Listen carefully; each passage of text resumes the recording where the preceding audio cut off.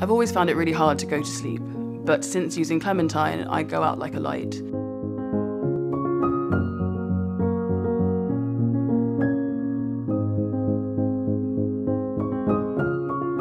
I don't even think I get to sort of five, seven minutes. I just drift straight off. It's great.